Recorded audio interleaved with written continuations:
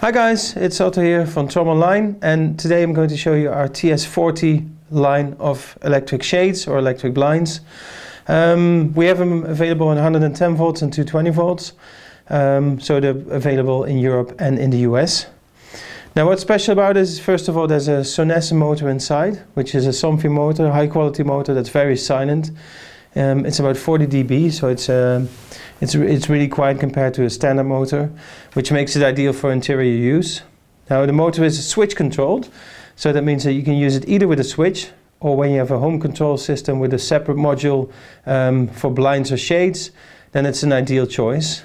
Um, it's a 30 RPM motor, which means it's relatively quick, um, but it's still silent. That's also thanks to this crown and drive, which absorbs um, any vibrations, so that makes it very silent. That really helps in, uh, in daily use, especially with this, uh, with this high speed. The motor has 3 newton meters of torque. That means, it means it's, uh, it's very strong, and we can use it up to uh, 290 in centimeters, which is about 10 feet. Um, and the height is also a maximum of 300 centimeters, which is also roughly 10 feet.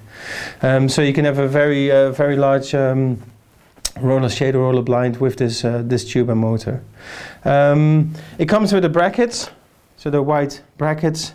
Um, they, they, they are suitable for wall and ceiling mounting, so however you want to uh, install the blind, it's, uh, it's uh, possible with these, uh, with these brackets. Um, the cable is about two and a half meters, so that's about eight feet in length, and it's in white. Um, so if you want to uh, attach it to a module, you need to know that it uh, has to be within the range of the cable.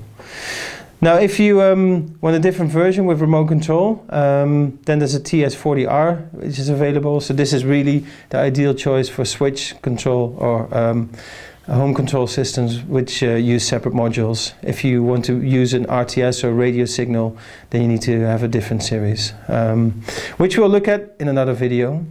Now if you have any questions about this version, um, roller blinds or roller shades in general, um, please look at the uh, description below the video. You'll find all our contact details there. So if you want to quote or have some technical questions, please let us know and then I'll gladly see you in the next video. Thank you.